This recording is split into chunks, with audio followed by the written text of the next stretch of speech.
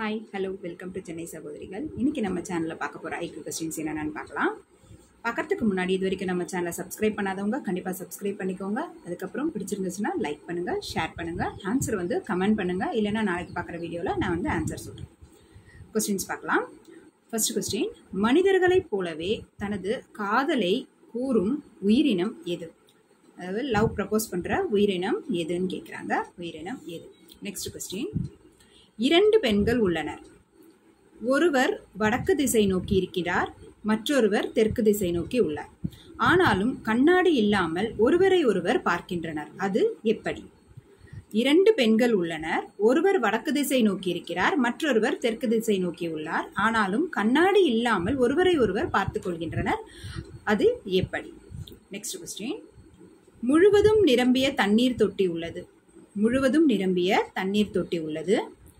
உங்களிடம் ஒரு ஸ்பூன் ஒரு வாளி ஒரு கப்பு உள்ளது.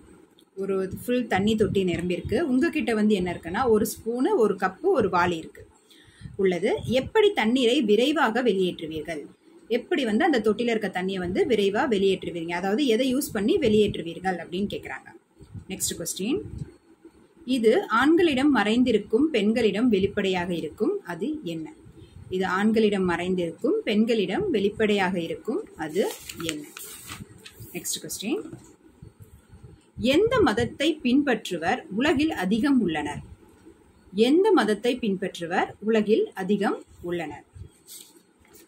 லாஸ்ட் டேவா நான் கேட்ட வந்து ஐக்கிய கொஸ்டின்ஸ் கொண்டான கொஸ்டின்ஸ் பார்த்துட்டு அதுக்கு உண்டான ஆன்சர் சொல்கிறேன் இன்னைக்கு கேட்ட ஐக்கிய கொஸ்டின்ஸ்க்கு ஆன்சர் வந்து கமெண்ட் பண்ணுங்க. இல்லைன்னா நான் நாளைக்கு வீடியோவில் சொல்கிறேன் லெவன் எயிட் கேட்ட கொஸ்டின்ஸ்க்கு உண்டான ஆன்சர் பிரகாசமாக எரியும் தன்மை கொண்ட தனிமம் எதுன்னு கேட்டிருந்தோம். அதுக்கு வந்து ஆன்சர் வந்து மெக்னீஷியம் நெக்ஸ்ட் மனிதன் முதன் முதலில் பயன்படுத்திய திணை வகை எது? கோதுமை. நோபல் பரிசு பெற்ற முதல் தமிழர் யார்? நோபல் பரிசு பெற்ற முதல் தமிழர் யார்? Sir C V Raman next இந்தியாவின் சிலிக்கான் பள்ளத்தாக்கு நகரம் என்று அழைக்கப்படுவது எது? இந்தியாவின் சிலிக்கான் பள்ளத்தாக்கு நகரம் என்று அழைக்கப்படுவது எது நெக்ஸ்ட் கொஸ்டின் உலகில் முதன் முதலில் தோன்றிய உயிரியாக கருதப்படுவது எது? உலகில் முதன் முதலில் தோன்ற தோன்றிய உயிரியாக கருதப்படுவது பாக்டீரியா த ஆன்சர்ஸ் ஆன்சர்ஸ் வந்து ஏற்கனவே நீங்கள் வந்து கமெண்ட் பண்ணியிருந்தீங்க.